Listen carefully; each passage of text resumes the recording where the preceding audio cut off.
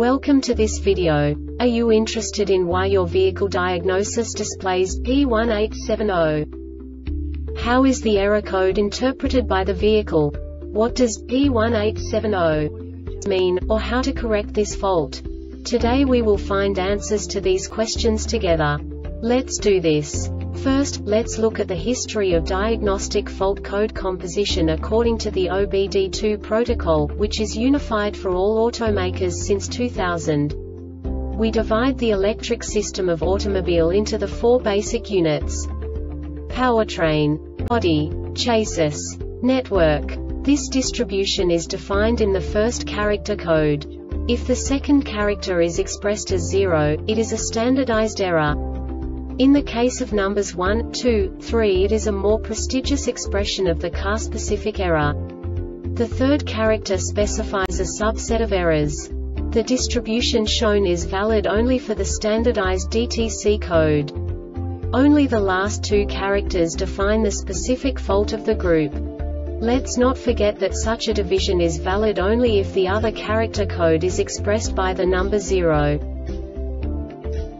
Our website airbagreset.sk produces useful videos for you.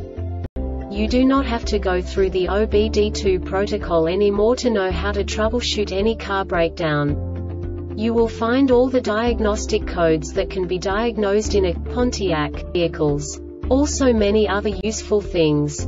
The following demonstration will help you look into the world of software for car control units. You unbelievably can move the video a bit further. The error code is split into two bytes consisting of 16 bits. One bit is the basic unit that each computer works with. The bit has two logical states. 0, low level, 1, high level. By combining the first two bits, the basic character of the error code is expressed. The next two bits again determine the second character.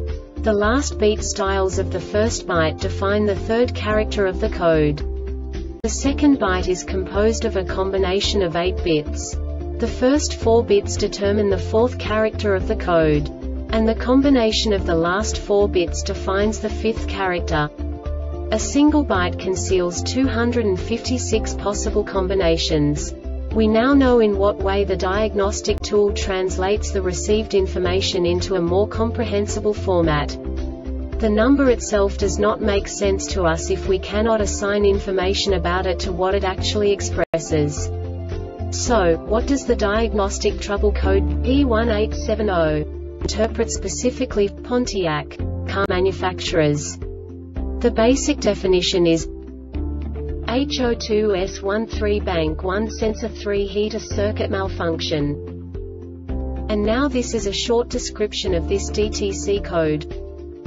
At least one bank lean at wide open throttle. This diagnostic error occurs most often in these cases.